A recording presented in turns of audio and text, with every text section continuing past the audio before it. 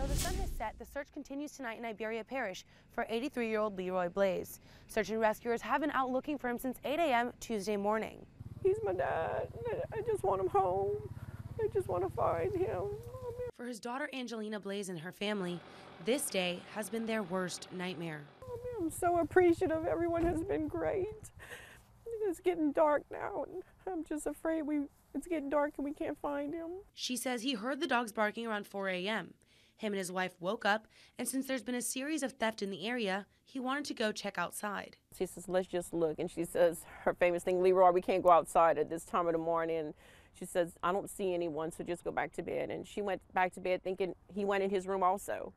When she got up this morning, she noticed the back door was open. The Cajun Search and Rescue, America's Cajun Navy, and Iberia Parish Sheriff's Office conducted the search all day Tuesday and continued through the dark. Officials do not believe foul play was involved at this time. There's, there's several bodies of water out here that we're concerned about.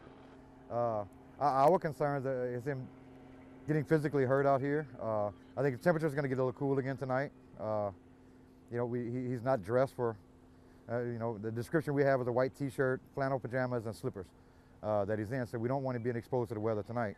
Earlier, helicopters were searching overhead, and throughout the day, about 50 people were searching the area, either on foot or on ATVs. He just kind of wandered off is where, is where we're at right now.